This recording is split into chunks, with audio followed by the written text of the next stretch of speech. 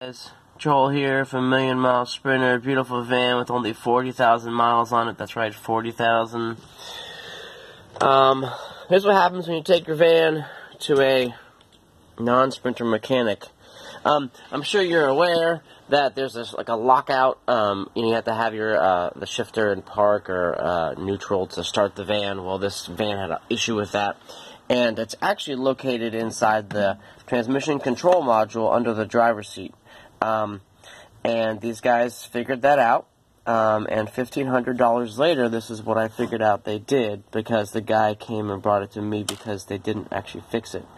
But they did some cutting and splicing of some wires in the transmission control module um, to try to bypass this. And like I said, $1,500 later, the van is now in my care, trying to really fix it. Million mile sprinter.